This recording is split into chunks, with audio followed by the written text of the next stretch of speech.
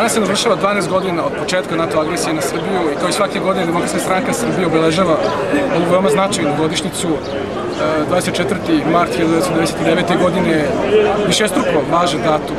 To je dan kada je NATO u neku ruku pokazao svoje pravo lice, bombardovao jednu suverenu zemlju, gazeći međunarodnog prava jer za to nije imao mandat Saveta bezbednosti Ujedinjenih nacija. To je uradio pod izgovorom pod lažnim izgovorom humanitarna intervencija zapravo je pružio podršku secesionističkom i mafijaškom pokretu kosmetskih Albanaca, a suštinski je napao Srbiju zarad sobstvenih interesa i sobstvenog kredibiliteta. To je takođe datum kada je počela ta agresija koja je mnogo žrtava napravljena s naše strane. Da bih samo da spocetim na bilans koji je katastrofalan. E, za vreme tih 78 dana besomučnog bombardovanja Srbije više od 2500 ljudi je poginulo od toga više od 500 civila, 7.500 kuće je porušeno ili oštećeno, ista sudbina je zadesila i preko 300 škola, 50 bolnica, isto toliko crkava. E, NATO je za tih 78 dana takođe koristio i municiju sa osiromašenim uranijumom i to je prouzrokovalo povećanje malignih oboljenja za 40% od 1929. godine. Sve su to razli zbog kojih ovaj datum, 24. mart, ne sme da se zaboravi. Ne sme se zaboravi jer te ruševine koje NATO pakt ostavi za sebe jesu slika i prilika NATO pakta. I ti leševi koje NATO ostavi za sebe pokazuju ono samu suštinu NATO pakta. Taj datum takođe ne sme se zaboravi zato što i Srbija tog dana pokazala svoje pravo lice. E, jedno lepo lice, herojsko slobodarsko lice, lice koje je dostojno naših predaka.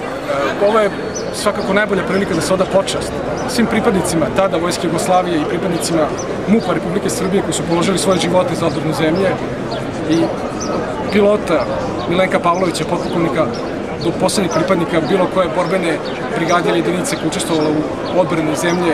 Svima njima je jedno veliko, jedna velika počast i prosto treba reći neka im je večna slava, a nama ostaje da se borimo za jednu snažnu Srbiju i dostojnu Srbiju imajući u njima uzor. Međutim, danas nismo samo okupili da bismo se setili svih žrtava NATO agresije i da bismo pomenuli sve, sve, nemile događaje, tragične događaje od pre 12 godina. Danas smo se okupili da ponovimo jasno i glasno stav Demokratske stranke Srbije kada u pitanju NATO, a on glasi nikada u NATO. Demokratska stranka Srbije stoji čusto na stanovištu da Srbija nikada bi trebalo da postane članica te vojne alijanse. I mi te naš stav zasnijemo na više činjenice, ne samo na istoriji vrlo neprijateljskih odnosa koje postoje između Srbije i NATO pakta i ti neprijateljski odnosi sežu daleko u prošlost, u 94. i 95. godinu, kada se NATO umešao u građanski rat u Jugoslaviji i bombardovao Srbe u Republici Srpskoj i Bogom u Republici Srpskoj krajini.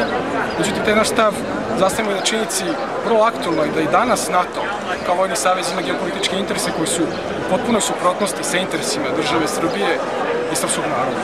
Naravno, ovde pre, pre, prevashodno mislim na ulogu NATO-a danas u secesiji Kosova, dakle NATO aktivno učestvuje u secesiji Kosova, on tu secesiju štiti nakon što je omogućio tu secesiju agresiju pod pre 12 godina. E, nažalost, ovo viđenje nije viđenje aktualne vlasti.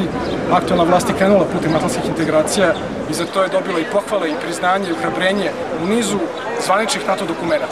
I krajnji primer, i zapravo poslednji primer tog vrlo konkretnog približavanja Srbije NATO jeste najava da će se u junu mesecu ove godine u Beogradu na inicijativu Srbije održati skup, odnosno samit NATO-a ili tače rečeno konferencija NATO zemalja i partnerskih zemalja.